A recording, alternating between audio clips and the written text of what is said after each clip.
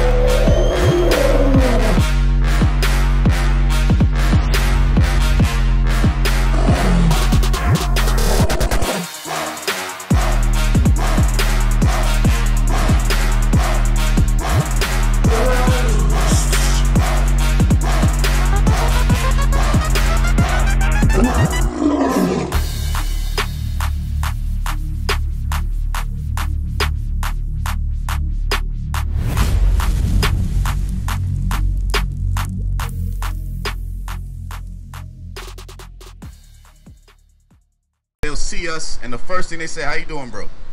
And the first thing they say is oh man nobody's perfect and i'm, I'm a sinner and all those different they, they'll admit that they'll acknowledge that they're in the midst of sin. And they they almost feel like they're not worthy to hear this gospel worthy to change themselves worthy of getting the kingdom of heaven. So they resort to living a lifestyle of sin instead of trying to change. Well let's see how christ dealt and who he dealt with. Read that matthew 9 verse 10 This is the book of Matthew, chapter 9, verse 10. And it came to pass, uh-huh. as Jesus sat at meat in the house, uh-huh. behold, many publicans and sinners came and sat down with him. No, Jesus Christ sat down at meat with publicans and sinners. A lot of times people will look at us and be like, oh, why y'all at the bus station? These people don't need no help. These people are crackheads, they're never going to change.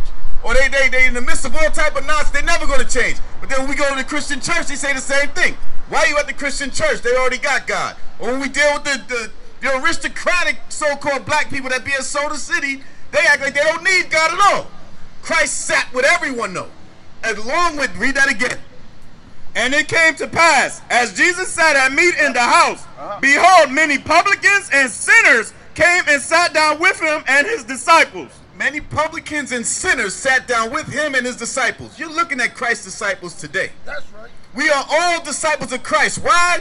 Because we are following his word and trying to apply the discipline that comes with the Holy Spirit. Right. The Holy Spirit is the application of the Most High's laws. So you're looking at Christ's disciples now. And that's why we're out here dealing with our brothers that are in this midst of sin. Right. And sisters, read them. And when the Pharisees saw it, But when the Pharisees saw it, that's those other sets of black people or other sets of Negroes out there. Read and what did they say? they said unto his disciples, Why eateth your master with publicans and sinners? Why are you out here with these dope boys, these drug dealers, these crackheads, these Christians, these single mothers, these these whores, these whoremongers, these drug addicts, drug abusers? Why are you sitting there with them? Why are you calling them into your sanctuary, into your schoolhouses to learn and to change? Why are you asking them to change? Read.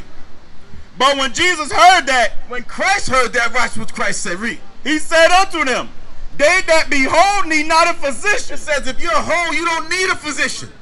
Christ can't read. Read on. but they that are sick. Uh-huh. But they that are sick, read.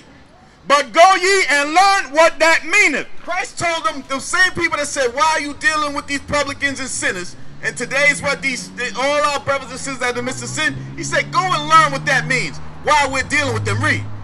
I will have mercy and not sacrifice. Christ said He will have mercy, though. What's the point of having mercy if you act like you don't need it? So the fact that you sit there and say you're not worthy, that's a good thing.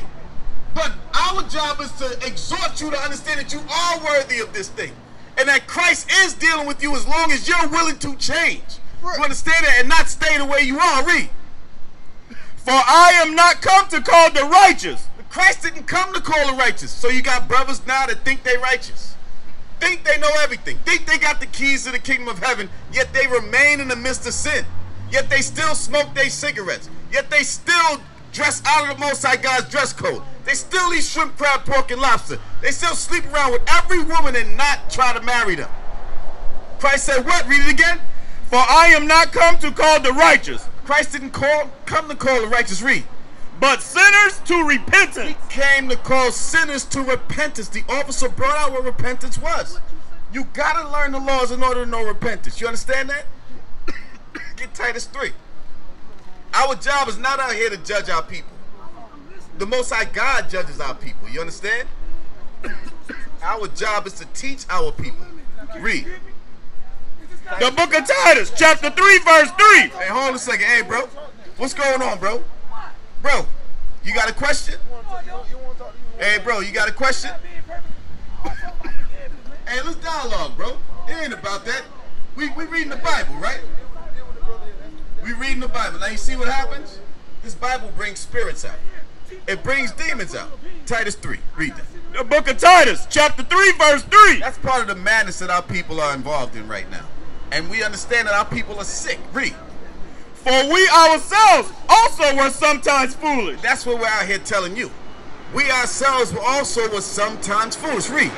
disobedient, uh-huh. deceived, serving divers lusts and pleasures. We all come from that same world. We all were lost. My man that was talking about he was a Moor and sovereign. Some of us came from that same understanding. That's why we know we can teach that thing and we know that it's not real. Because there's nowhere in the world that we can be free and we're sitting here slaves, pay, living check to check, paying bills, taking a bus. So we come from that though. Read. living in malice and envy, hateful and hating one another. That's we all come from that. And I think the misconception is they see us out here in purple, they see us reading the Bible, they see us dealing with our people, and they think that we can't relate to them. Or that we're out here to pass judgment on them.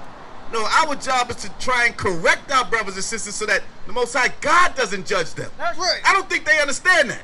Our people don't understand that we don't want the Most High God to deal with you. The Most High God is the King of. Get that in um Second Esdras 16, where it says God is the judge, fear Him. 16 and 50 something.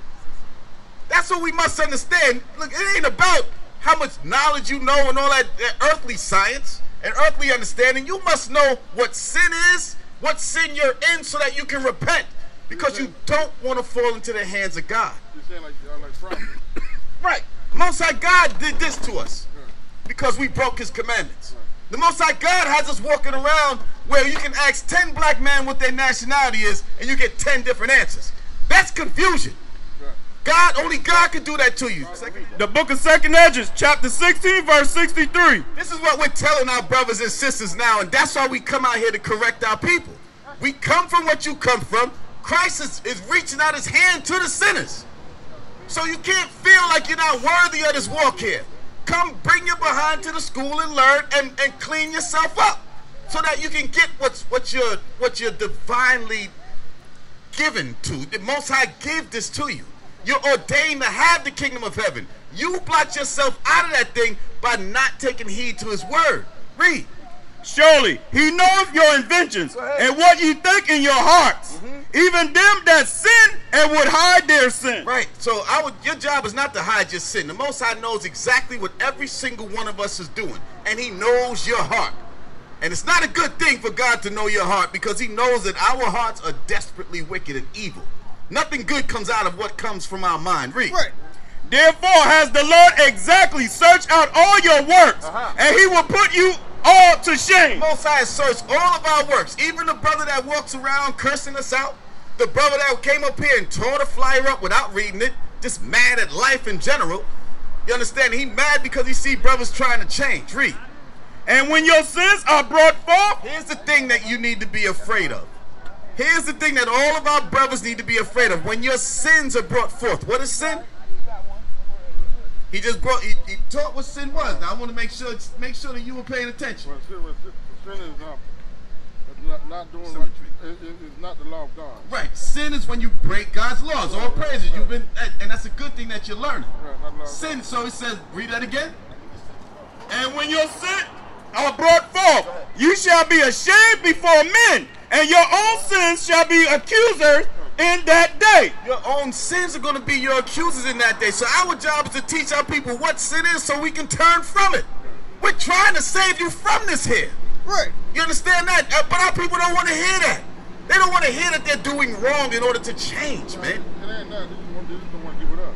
They don't want to give it up, but here's this. Watch what they want to. Here's what's going to happen, though. Read. And what will ye do? Uh-huh. And how will ye hide your sins before God and his angels? They tell you that sin is done away with and, and that um, God's laws are done away with and that Christ came so that you can sin. That's nonsense. This is a Bible here telling you that you're going to be judged based off the sins that you commit. Right. If you reject the grace that comes with Jesus Christ and repentance. If you reject that thing, read. Behold, God himself is the It judge. says, Behold, who is the judge? God himself is the judge. No, the brothers that come out in purple and gold is the judge. Read it again. Behold, God himself is the judge. It says God himself is the judge. Do what? Fear him. Do what? Fear him. Go ahead. Leave off from your So. God is telling you to leave. It says fear him. Because you don't want to deal with his judgment at all. You're supposed to fear God. Don't worry about what we're saying. We're not judging you. We are correcting our brothers and sisters. We're teaching our brothers and sisters what sin is so that you can repent and get the kingdom of heaven That's and come right. out of this hell that you're in. Because you're not free and you're not saved at all. We're dead today. Black was a term used for dead at some point. Black meant dead and white meant life and free. Read. Leave off from your sins and forget your iniquities. Forget your sins. Read. To meddle no more with them forever. So to meddle no more with them forever. So when we learn sin, we learn to fight. The, we got to stop meddling with those things. Guess what? We still meddle with some of the sins that we're in now. We're not saying that we're floating on water like Christ. The same different things. Our thoughts, adultery, damn covetousness, all them things we all have to battle. We battle because we know it's wrong. That's part of the reason why we wear our fringes. Get that Numbers 15. There's a divine purpose behind, behind every law that the Most High God gives us. Right. And if we apply those laws, it'll keep us from his judgment. We gotta lo- understand that. Why do you think we wear fringes? I don't know. Huh? I don't know now. Well, let's see why we wear fringes. Read. This is the book of Numbers, chapter 15, verse 38. Bring it out. Speak unto the children of Israel, and bid them that they make them fringes in the borders of their garments throughout their generations, Uh-huh. and that they put upon the fringe of the borders a ribbon of blue. A ribbon of blue. So that's what you see. Fringes and a ribbon of blue, right? But what happened was a brother was breaking the Most High God's Sabbath day, buying, selling. In his case, he was picking up sticks to cook, working and things of that nature, right? So the judgment had to come from God. Moses asked the Most High God what to do with this man, and God said, "Put that man to death." That was the judgment. So the Most High now gave us a little. He gave us something now to reflect on. How you doing, bro? He gave us something to do now. He said, Put fringes upon the borders of your garments throughout your generation, and upon those fringes, put a, on the border, put a ribbon of blue. Here's the reason. Read. And it shall be unto you for a fringe, For a fringe, read. that ye may look upon it and remember all the commandments of the Lord and do them. That we must look upon the fringes and remember all the commandments of the Lord and do them. Once you put those fringes on, guess what you're representing when you walk out in these streets? You're representing a disciple of the Most High God now. Right. You're representing an Israelite, one of God's chosen people that holds himself to the Most High God's laws. So there's no way in the world you're gonna wear your fringes because think about it. When you wear, when we wear our fringes, we know people look at it and be like, "Damn, what's that on that brother's clothes? Why are they wearing those things on their clothes?" Right? So we know we stand out. Now think about it. You wearing your fringes and you going up into a damn uh, uh, a crack house to buy crack. That's that man of the Lord with fringes on buying crack. That's that man of the Lord with fringes on going and smoking weed with me. That's that man of the Lord wearing fringes and he's going to rob a bank now? No, because we know what fringes represent. So when you put your fringes on, your conscience now is, is eating at you. Damn, I got my fringe. Unless you the devil that the Bible speaks of, there's some of those too. Right? But for the most part, you wear your fringes to do what? Read that again. From the top, 39. And it shall be unto you for a fringe, that you may look upon it. So when you're when you're battling now, because it's a struggle, the script said, "Don't meddle with your sins no more." And our minds always want us to start meddling with that little sin that we want to get away from. You walking past a bus stop and all you do is smell weed. If you, if you was a damn weed head that smoked weed every day, you get you start reminiscing like, damn, I know what that feels like. I know what that is, but I got my fringes on. Yeah. I got my fringes on now, and then you remember, oh, I'm an Israelite. I can't do those things. That's the wrong thing to do. There's a purpose behind the Read. And remember all the commandments of the Lord and do them. That causes you to do them. Read. And that ye seek not after your own heart Uh-huh. and your own eyes. And then you don't do what's in your mind because your mind is, is pushing you to do the wrong thing. The Most High has a fail safe for all of us, and part of that is his dress code. And people like just think that the Most High's dress code is no, is, is ah, who cares what you're wearing? No, it, it makes you who you are. And it actually governs how you conduct yourself. Right. The Most High's dress code, read. After which ye used to go a whoring. Right, because our own hearts and our own minds made us go a whoring. So God's laws has a purpose, just like the Most High's dress code. What's, what's your name, bro? Hate. Your sister? What is your name? Huh? Naeja? Let me ask you a question. What is your nationality?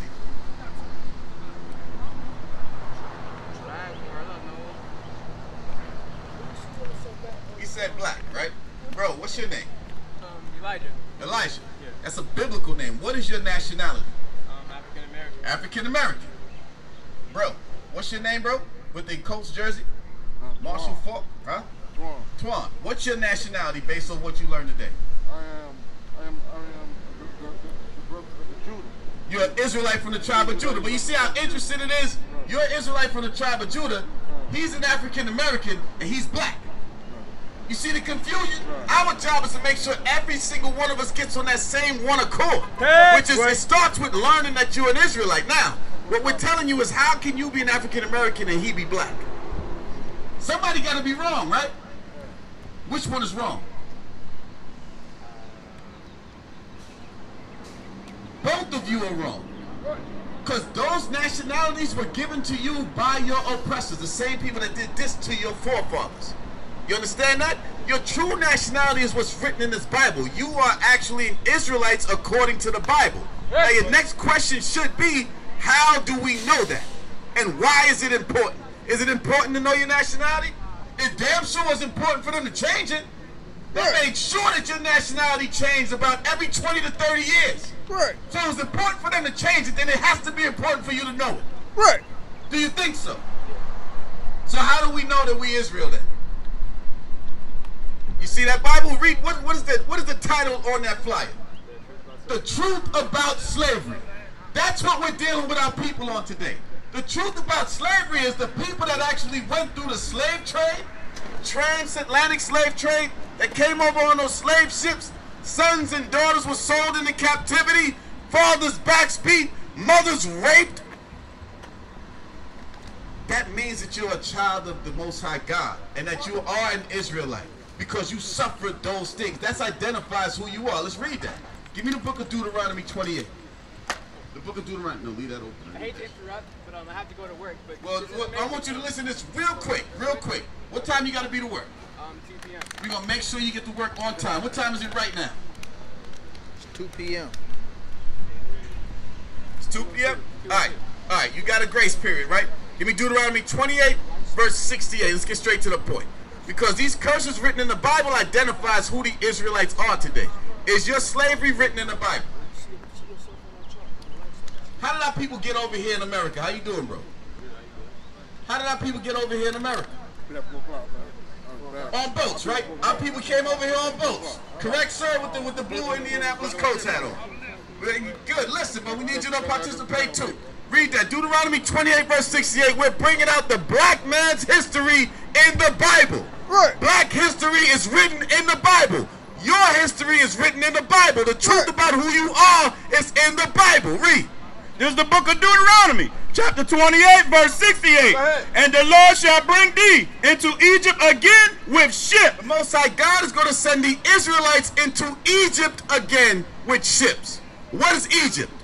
Read that. The, Exodus 20. the book of Exodus, chapter 20, verse 2. I am the Lord thy God, which have brought thee out of the land of Egypt, out of the house of bondage. That Egypt is synonymous with bondage. Another word for bondage is slavery. That's right. Slavery, bondage, Egypt. That's what it means. Read now Deuteronomy 28. Read it from the top. And the Lord, Deuteronomy chapter 28, verse 68. And the Lord shall bring thee into Egypt again It with, said the Most High God is going to bring the Israelites into slavery again with what? with ship. On cargo slave ships. That is written in the Bible. Right. Read. By the way whereof I spake unto thee, Go ahead. thou shalt see it no more again. You'll never see Egypt or your homeland again. Or your homeland again. Even if you want to go back to Africa, you can't make it back there. And your homeland is Jerusalem, which is part of Africa. Read. And there ye shall be sold unto your enemies. What happened to us when we got off on them slave ships, brother with the dreads? What happened to our people when we got off the slave ships? We were captured and became slaves. We were bought and sold like cattle. We were traded on auction blocks. Our mothers were, were stripped naked, topless, and said this will be a good bed wench, this will be a good milkmaid, this will be a, a good um, um, maid in the house, all those different things. Our men, just like they do in the NFL, they talked about it yesterday.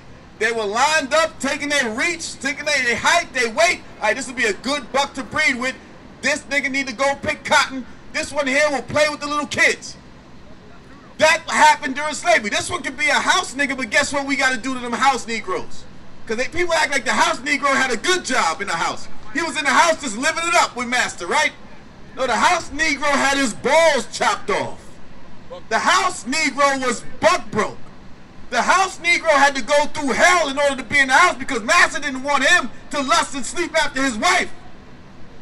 So the house Negro, yes, he was lived in the house, but he had his, he had to be castrated because he could not have no sexual desire in the house. The only one that had to have sexual desire was that buck that they wanted to breed with. They'll breed him with his own mother. They'll breed him with your daughter. They'll breed him with anybody who wants you to make another slave to keep their economy going. So no slave had it good. Let's get that. Don't get that twisted. Even the house bedwench, she didn't have it good because she had to sleep with every single master that came into the house if they wanted them to. So no part of that was a good thing. Read that again. Ye shall be sold. And there you shall be sold unto your enemies For what? For, for bondmen and, What, slave men? and bondwomen. Go ahead. And no man shall buy you. No man ever redeemed us from. Hey, get the job on time. But guess what? Hey, check that flyer out. No, who tried to redeem us from these curses? How many men have tried to free the so-called black man in society today? How many? We have uh, what? Malcolm X tried with the Nation of Islam. Marcus Garvey tried with um that was the Pan African movement. Right. Um, Martin Luther King and the Civil Rights Movement, Christianity, right, bro? Who else? The, the Black Panthers? All of these brothers had great ideas. And all of these brothers had the right mission. And guess what? All of these brothers gave their lives for their people. Right. So we don't disrespect anything that them brothers represented. But the one thing that them brothers didn't have was what our true matter of fact, Malcolm X knew. Because he talks about who the children of Israel was. But he wasn't behind the God's laws behind it. He had he mixed it in with Islam, which did not work because we're not Muslims. Right. The Muslims is an Arab religion that we were taught while we were being enslaved by them. That was forced on us in Africa. Right. That's why when you see some slave ships come over, some of the slaves were Muslim. But then you got some of the Moorish blacks that were over there in Europe, they were Judaic. They followed Judaism. They were so-called Christians. Read that again from the top. And Deuteronomy chapter 28, verse 68. Going over the history, the slave ships that our people came on was written in this Bible. Our history begins way before what they teach us in the schools about black history. Black history does not start with slavery.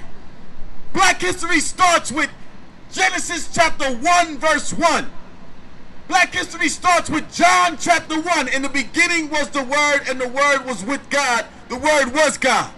That's black history because all people were black people. Adam was a black man. Right. That's our history. Right. Read.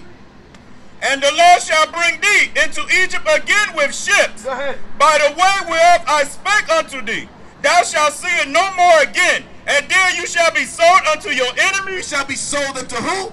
unto your enemies. For what? For bondmen and bondwomen, and no man shall buy you. So no man redeemed us from the hands of our enemies. Right. Let me ask you a question. Did that happen to our people now, bro? Did that happen to our people? The slave ships being bought and sold and things of that nature. Okay. Let me give you another one now. Give me proverb and byword. What is that? 37? Verse 37. Read that. These curses are here to identify who the Israelites are. Read. There's the book of Deuteronomy, chapter 28, verse 37. And thou shalt become an It astonishment. says, Thou shalt become an astonishment, the so-called black man and woman, Hispanic man and woman, Native American man and woman have become an astonishment. Right. Look at our people today. You're not astonished at the way our people look? Bring it out. We, we at a bus stop and we got brothers strung out on crack talking nonsense about the men of the Lord telling you to stop doing crack. That's madness. How in the world you got a problem with brothers trying to tell you, hey sis, stop sleeping with every man just to make a dollar and go ahead, get a job and save yourself from your husband. How is that wrong? That's an astonishment. Read.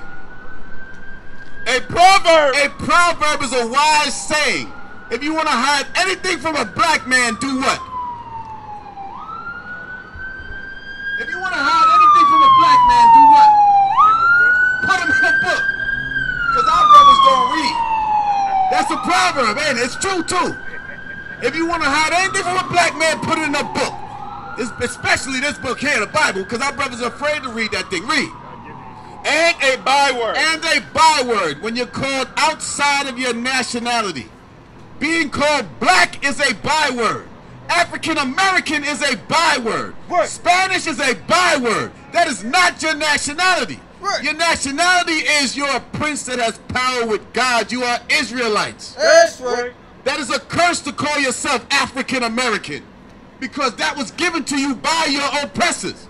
And Africa and America is named after two so-called white men. Right.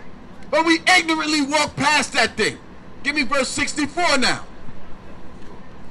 This is the book of Deuteronomy, chapter 28, verse 64. So the bottom line is we're going over these curses because these curses identify who the Israelites are today. You understand that, bro? So I'm going to ask you after this one here, what is your nationality? Read. And the Lord shall scatter thee among all people, uh-huh. from the one end of the earth un- even unto the other. We were scattered among all people on slave ships. This happened to us right here. Did this not happen to our people? Slavery on slave ships on these boats here. That happened, right? You mentioned boats. This is what happened. It was slave ships, and they brought us to South America, North America, Europe, Asia, Russia, all those different places. We were scattered. Read. And there thou shalt serve other gods, And now, as we get in these lands, we're serving other gods. Read. which neither thou nor thy fathers have known, Uh-huh. even wood and stone. even wood and stone. That's why you see the so-called black man. You got a household with our people. The mother's a Christian Baptist, the father is a Muslim, and the daughter is a Buddhist. Bring it out. That's straight confusion. But that's our people, though. Right. That wood is going into Christianity. The cross. Our fathers didn't know nothing about no, no Christianity. Christianity was forcing our people, whipped on our backs, and now we just take take heed to that nonsense. Right. And we love it. Love lies instead of our true nationality and our heritage. We used to scream black power while heroin was pushed. But at the end of the day, nothing's in vain. IUIC has been given a vision. The tents of Judah has risen. Many has attempted the mission, minor murmuring, omitting, and missing the mark. Just reading that he had the flame of fire in his eyes gave us the spark. We on Paul's mission. We out on the road, purple and gold, From Mexico, Cuba, Haiti, Ghana, Sierra Leone. 144,000 boots banging, concrete crackling. These are how our men repented at heart. The scriptures is proof. IUIC, we deliver the truth.